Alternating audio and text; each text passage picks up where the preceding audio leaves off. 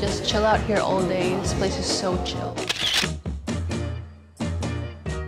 Hey guys, it's Carla here, and welcome to today's episode.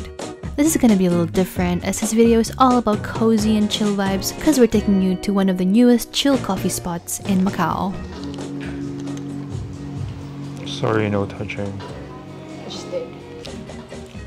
It's a pretty gloomy day today. The kind of weather where you just want to not do anything all day. Just sit down and relax and just be cozy and all that. So that's exactly what Pierre and I are going to do today, which is why we're going to this cafe called Brew Lab. I've been wanting to go to this cafe for so long already because I've been seeing it on Instagram. It looks aesthetically pleasing. It's very Instagram worthy. It's so cozy.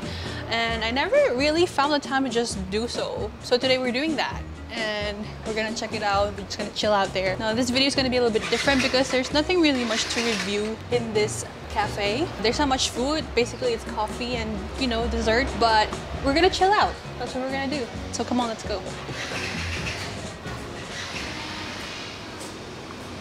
What do you want? Black. Flat white. Flat white? They have Tipsy different London. things. Yeah. On the coffee menu, they have the classics like long black, latte, and they also have their own specialties like the Tipsy London and the Dirty, which is what I'm getting, while Pierre opted for more classic flat white. Which one's flat white? This is flat white and this is uh, dirty. Yeah. Aside from coffee, I also got a bird matcha cheesecake for dessert because it looked so appetizing. very careful right now. I might trip over and ruin this whole thing. okay, we made it up alive in full peace. So when we got upstairs, I immediately thought that the vibe is so cool and chill, definitely different from the average coffee shops you see around Macau. So you sit on makeshift sofas from pallets with cushions and beanbags, and there's plenty of natural light coming in from the outside, elevated by indoor plants. The atmosphere is just so pleasant.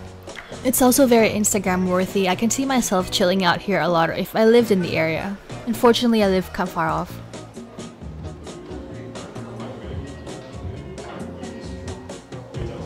Quite strong. Mm. This is even Really stronger. strong, right? Yeah. Stronger than my flat white. So that's why it says on the menu you should drink it like one quarter at a time. I think it's because it's kind of strong.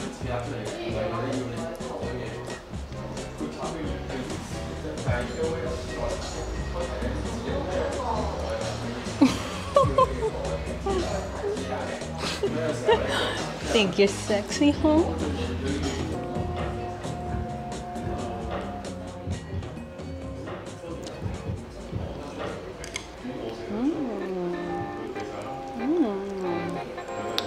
This thing.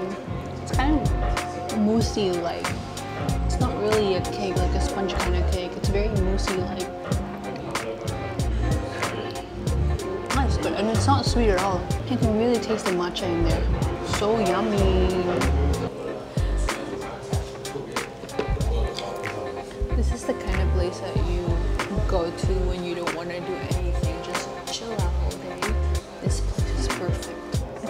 Fall asleep here.